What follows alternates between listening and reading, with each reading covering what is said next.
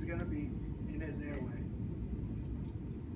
Start and stop button is here on this machine. You don't really have a graph select, so you have to do that with the, the uh, keypad there. Yeah. So he's going to bite right into that, biting around that mouthpiece. No. He's going to put his tongue under the, that tongue depressor.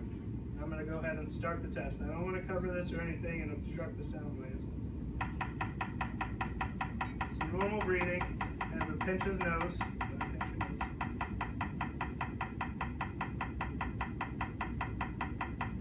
I'm going to watch his chest rise and fall.